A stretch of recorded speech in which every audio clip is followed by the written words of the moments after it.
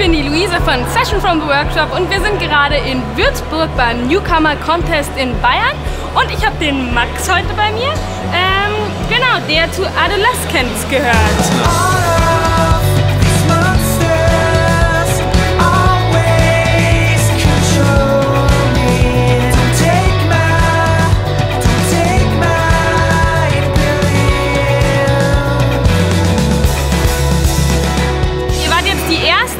Band, die quasi von den Finalisten auf der großen Bühne stand. Ich bin ein bisschen durchgelaufen, ist ganz schön viel los.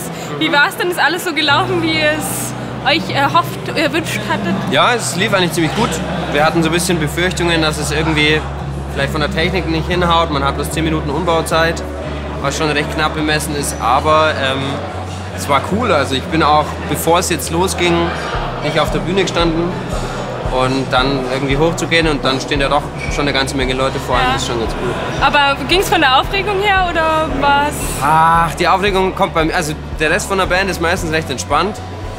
Ähm, Es kommt bei mir meistens so eine halbe Stunde vorm Auftritt bis 10 Minuten vorm Auftritt und dann ist wieder cool.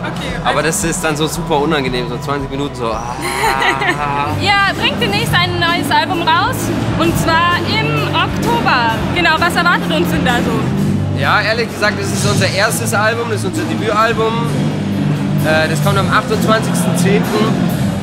und ist jetzt so das Baby, das über die letzten drei Jahre entstanden ist und wo ganz viel Herzblut drin steckt und Zeit und Energie.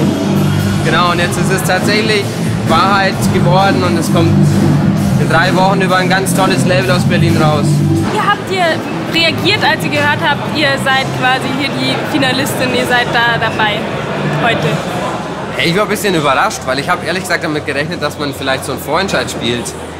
Oder dass man irgendwie gegeneinander antritt. So, es ist ja ein Contest letztendlich und dann schickt man ja eigentlich nur was hin und ist dann aber schon im Finale, wenn es gut läuft. Ja.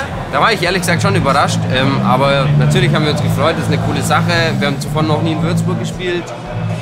Und ähm, ja, ich meine auch mal so vor einer Menge Leute zu spielen, ist auch cool. Und wie habt ihr euch vorbereitet auf den heutigen Tag? Gute Frage. Wir mussten das im Zeittrubel irgendwie noch unterbringen, weil wir gerade, wir haben jetzt in drei Wochen das Album Release mit der Release-Show und anschließend gehen wir zwei Wochen auf Tour.